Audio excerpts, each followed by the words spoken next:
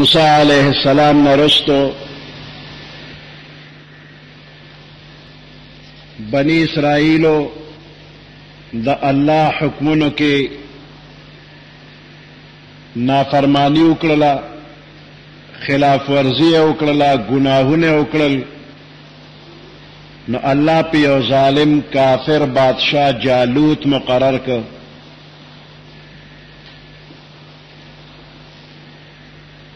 عمالقه یو قوم د بنی اسرائیل دشمنانو د جالوت په مشرۍ کې عمالقه قوم بنی اسرائیل باندې قسم قسم ظلمونه وکړل تورات ته ضبط ک بے عزتی ولا وکړه بندیان ته قیدیان کړه وینځې غلامان یې کړل نو د قوم څه مشران را جمع شو او د خپل وخت پیغمبر شمویل علیه السلام ته درخواست وکړ وې موږ له یو بادشاه مقرر کړ چې د هغه په سرکردګۍ کې د دې ظالمانو سره جهاد وکړو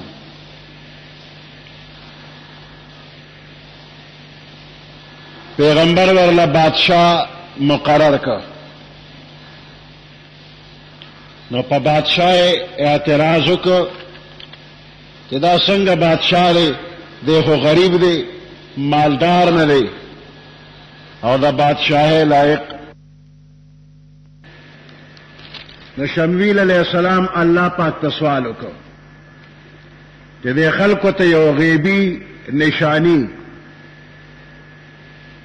د د د بادشاهۍ لپاره وخیا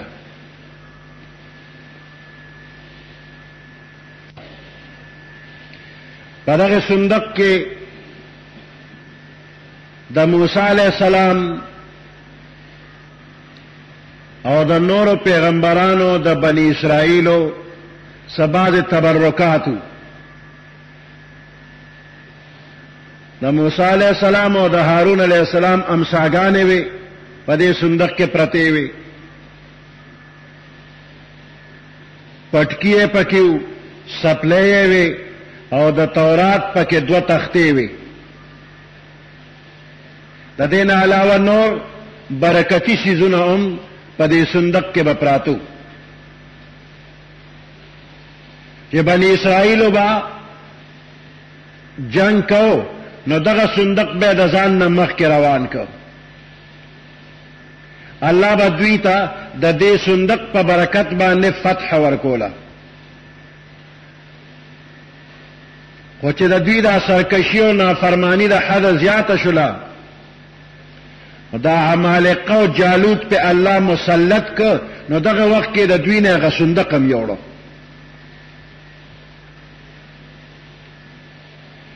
نو چې کله دا قوم بني اسرائیل شمویل علیه السلام ته راجمع شو بادشاه یې وغوسته او بیا د بادشاه په بادشاهۍ د خدای نه علامه او نشاني غوستله نو شمویل علیه السلام چې دعا وکړله نو هغه صندوق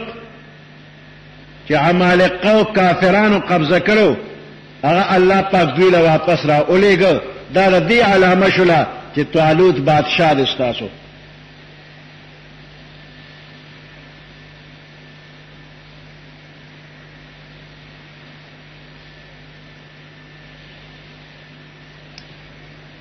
عمالقو چې کله دا صندوق د بنی اسرائیل نه خپل قبضه کې واغشته وی په کوم ځای کې چې به دا صندوق کې خو ده نو په هغه ځای کې به یو وبا راغله مرزونه برادل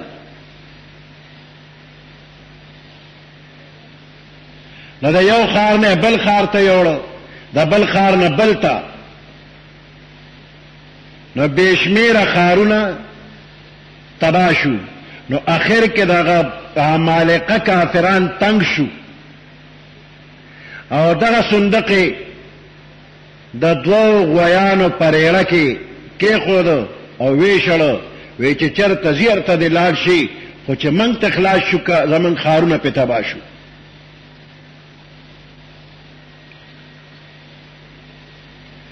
نو دغه صندوق په ګاډي کې چې یې کېښود، ویې فرشتې راغللې او دغه ګاډی یې وشړ، هغه غویان یې وشړل، ویې د دوی د نظر نه چې پناه شو. بیا دغه فرشتې راغللې او دغه صندوق هغه راواغشت او د شمویل علیه السلام او د طالوت مخې ته کېښود نو دا دوی یو عجیبه نشاني وګڼله او بادشاہ یې ومنه دلته دې آیات نه د موسی علیه السلام او د هارون علیه السلام نه پاتې شوي څیزونو باندې برکت حاصلېدل ذکر کېږي تبرکاتو د هغې په برکت باندې به دوی فتح او کامیابي موندله نو د تبرک به آثار الصالحین یعنی د نیکانو خلکو پاتې شوي څیزونو باندې برکت نیولو دپاره لوی دلیل دی او د بزرګانو د نېکانو خلکو په ذواتو او د هغوی په آثارو باندې وسیله نیول د قرآن او د حدیث نه ثابت ده او د علما متقدمین او متأخرین اکثریت په دې باندې متفق دي چې وسیله نیول په ذوات فاضله باندې مشتا او په نیکو اعمال باندې شتا اعمال صالحه او زوات فاضله په دې باندې وسیله نیول جایز دي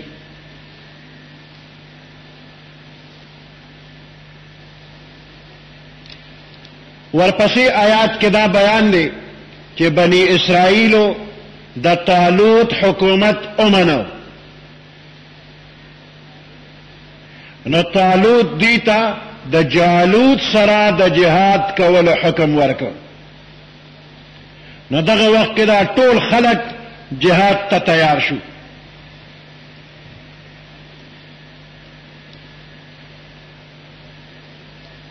د جذبې په دی وخت کې هر سړی وی زه جهاد لازم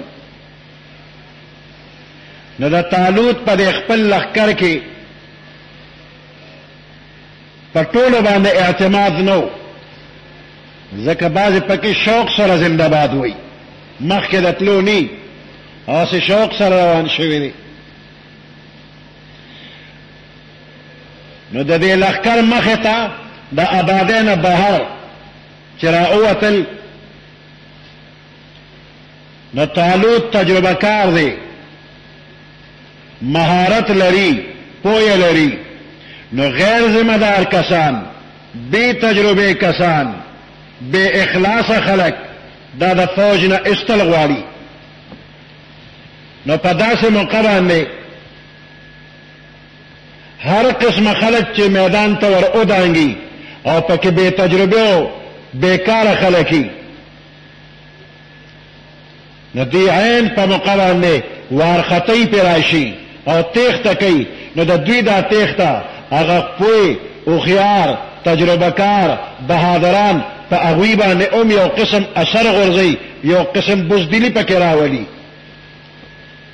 نو د هوښیار جرنیل هوښیارتیا دا ده چې داسې بېکاره خلک دې نه برتې کوي.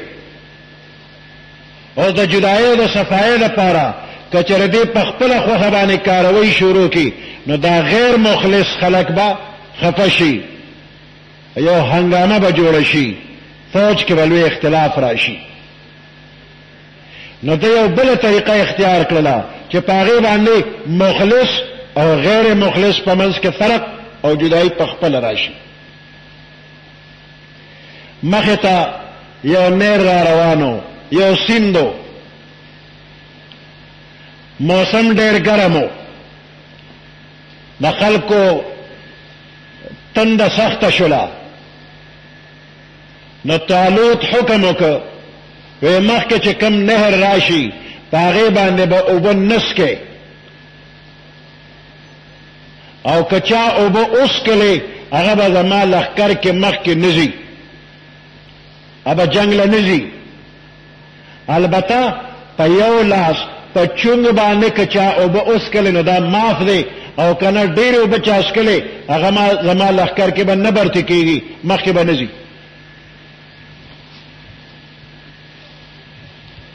وی دغه سین چې را ورسېده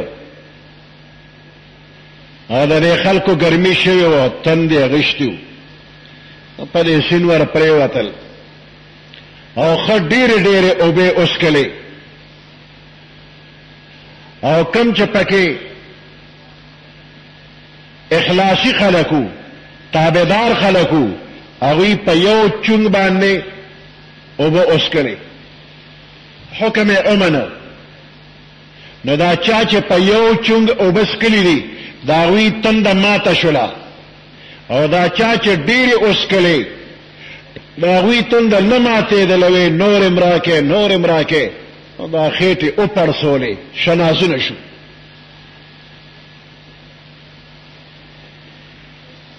نو بیا مخکې د تلو طاقت یې نه لره،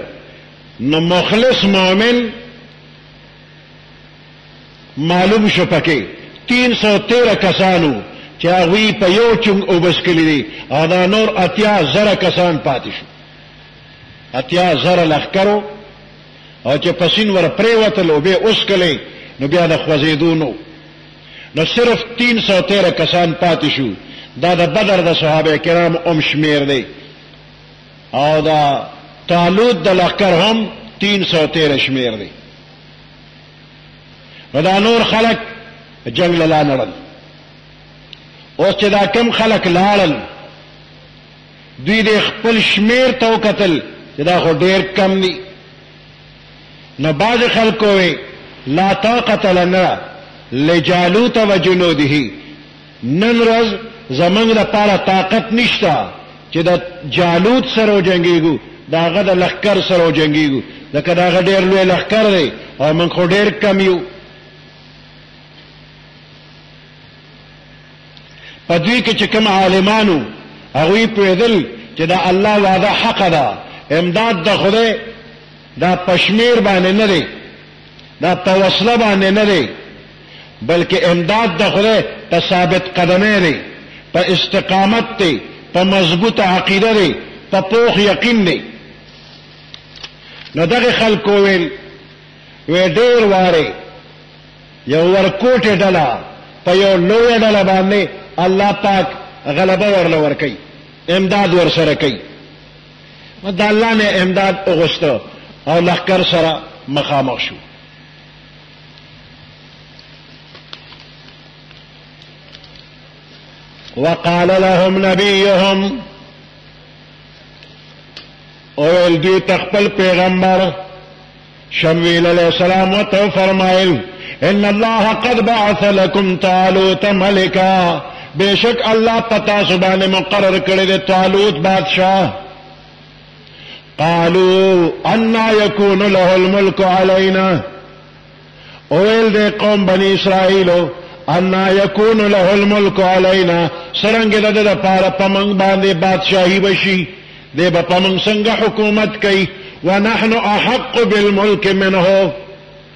موږ ډېر لایق یو په حکومت باندې ددنه ولم یؤت سعة من المال حال دا دی چې نه دی ورکړی شوی د تمال فراخي د مال وته نه ورکړی شوی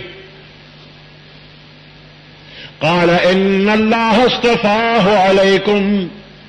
پیغمبر وته فرمایل ان الله استفاه بشک الله د انتخاب کړی علیکم پتا سبحانه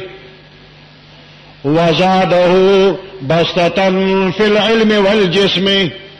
الله زیات کړی دی دلرا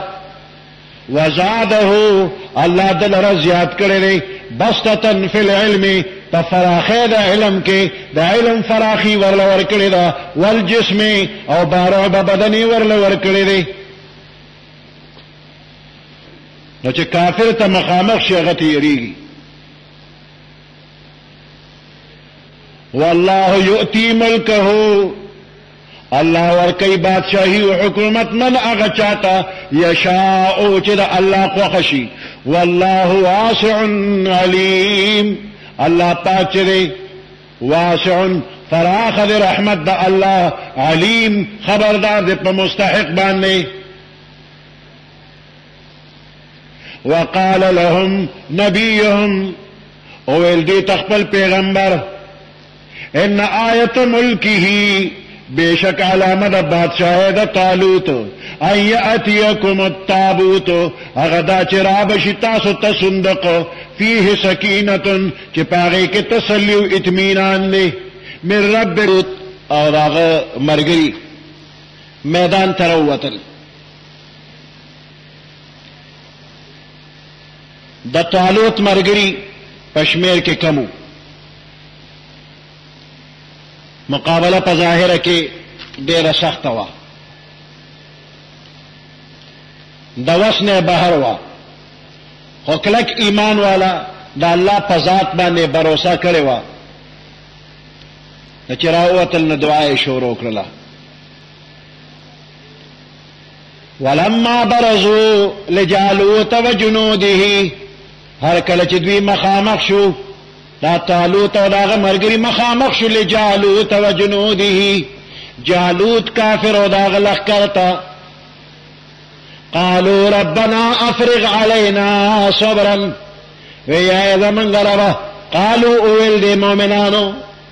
د طالوت مرګرو ربنا اې زمنګ ربا افرغ علینا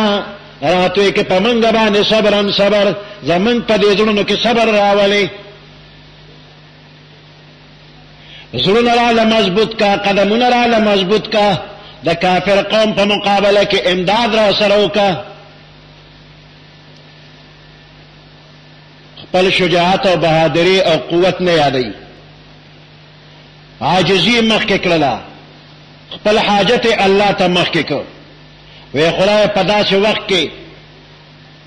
ستا امداد کرا سره نینو کامیابی ګنا نو الله طرف ته رجوع کړلا د ثابت قدمه سوال وکړو د امداد سوال وکړو الله یې سوال قبول کو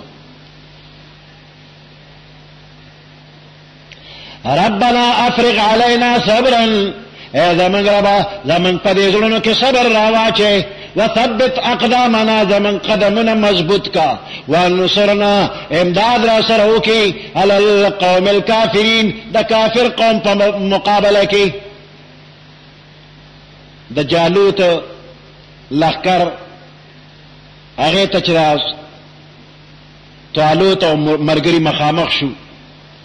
نو دغه وخت کې د طالوت په لخر کې یو نوجوان یو زلمی شاه زلمی را مخ کې شو او داغه نوم د داوود علیه السلام چې لا دغه وخت کې پیغمبر نو په دې لخر کې یو ځای شو د جالوت مقابله ته بهر راوته داوود علیه السلام د سره یو لینده وا مچغنه نو په هغه مچغنه کې یو کانه واچو توې کو او په ډیر زور هغه کانه وویشته دغه کانه لاړ او د جالوت پتندې کې ورننه وته اولګیر او سمدستی را پرې وته وې داوود علی السلام ورغه پتوره ته نصر پرې کو چې سر ته جدا ک او دا خبر د جالوت په لخر کې خور شو چې جالوت سر خړلې مردار شو بس د لخر خپې او خوېدلې تیخت شورو شولا هیبت زده شو او میدان پرې خو دو و یو زبردست شکست وته ملو شو وای طالوت په دې خوشاله کې خپل لور داوود علیه السلام ته په نکاح ورکړله ډېره لویه کارنامه دې وکړه د کافرو سرغنا بدماش د قتل کو نو خپل لور یې ولا په نکاح ورکړله د طالوت د مرګ نه پس ټول حکومت داوود علیه السلام ته حواله شو او په اتفاق باندې داود علیه السلام د بنی اسرائیلو بادشاه او دینه پس الله پاک ورله حکومت سره سره پیغمبري ورکړه نبوت یې مولا ورکړه نو حکومت او نبوت دواړه په یو ځای داود علیه السلام ته ملو شو دې نه علاوه داود علیه السلام ته نور د الله پاک د طرف نه هم انعامات ورکړی شو داود علیه السلام به د خپل قوم خدمت کو فیصله به کولې او دا سوچ فکر به کو چې زما په دې قوم کې هیڅ چاته هیڅ تکلیف ونه رسیږي د خلکو نه به یې تپوس پوښتنه هم کوله، ځان به یې داسې نااشنا غوندې کړ او خلکو نه به یې تپوس کاوه چې ستاسو بادشاه څنګه دی، نور حاکمان هم څنګه دي، څه تکلیف شته، ژوند تېرولو کې څه رکاوټ شته چې څه امداد وکړی شي. نو خلکو به یې ډېرې ښکلې خبرې کولې چې زموږ بادشاه دی خدای خوشحاله کړي، داود علیه السلام ډېر ښه سړی دی. ده به معلومات کول چې څه رکاوټ وي چې هغه ولا ختم کم یو ځل وی داوود علیه السلام د خپل عادت مطابق داسې لباس یې بدل کړی دی څوک یې پېژني نه دا پیغمبر دی دا بادشاه دی او یو سړی مخې له راغی دی ورته وایي چې ستاسو د علاقې حاکمان څنګه دي وی ډېر ښه دي وی څه تکلیف درته شته وی نه وی بادشاه هم څنګه دی داود علیه السلام ډېر ښه دی خو خو یې پکې ووایي دی ورته یاله ووایه چې دا خو پکې څه وی ډېر ښه دی خو د بیت المال نه د کور خرچه اخلي که دی د خپله لاسه کولی نو دا به ډېره ښه وه چې د بیت المال نه پیسه نه اخېستې دا خبره ورته وشوله سړی لاړه دا سړی سړی نو دا فرشته وه وی دا خبره چې وشوله نو داود علیه السلام غمجن شو چې د قوم د خزانې نه زه دا پیسې ولې اخلم دا څه ناروا نه دي چې یو سړی د قوم خدمت کوي نو د قوم د خزانې نه ګزاره الونس به اخلي ځکه چې دی خواره مزدورۍ له روان شي نو بیا خو د قوم خدمت نشي کولی نو دی چې د قوم خدمت کوي دا د ټول قوم په شریکه ډیوټي د اوکړلا نو د قوم د خزانه نه بدل سو اجرت ورکیږي نو ناروا نه و خو د داوود علی السلام شان اوچتو مناسب وسره نه و نو د الله ته جړا شروع کړه چې یا الله مال خپل تنظیم وکا چې زه د خپل لاس ګټه خورم نو الله پاک دته د زغره جوړولو چل اوخو اوس د زغره د اوسپنې یو قسم کمیس وی نو د اوسپنې کمیس جوړول دا خو به سټک غواړي، سندان به غواړي، امبور به غواړي، چینې مینې به غواړي، دا خو ګران کار دی. نو الله پاک ورته اوسپنه داسې نرمه کړه لکه مومو، نو بیا به یې په خپل لاس د اوسپنې نه دا نري سیخونه جوړ کړل، تارونه، او هغه تارونه یې یو بل کې پیلل لکه دا سیټر چې زنانه جوړوي. یو قسم سیټر شانتې به جوړ شو د انسان د بدن برابر کمیس شان دې ته به زغره وي دا زغره به خرڅولې او بیا په هغې باندې به څه د کور خرچه کوله څه به د الله په نوم باندې خیرات کول څه به بیت المال ته ورکولې چې اوسه پورې ما د بیت المال نه ساغشتي چې هغه ورته واپس شي د حیواناتو په خبرو باندې الله پاک پوهې کړ